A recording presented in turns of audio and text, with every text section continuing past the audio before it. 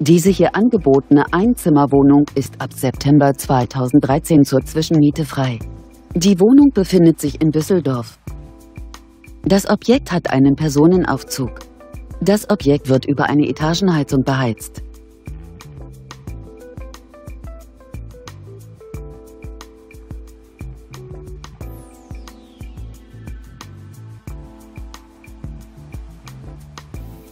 Die möblierte Wohnung bietet eine Wohnfläche von ca. 30 Quadratmetern.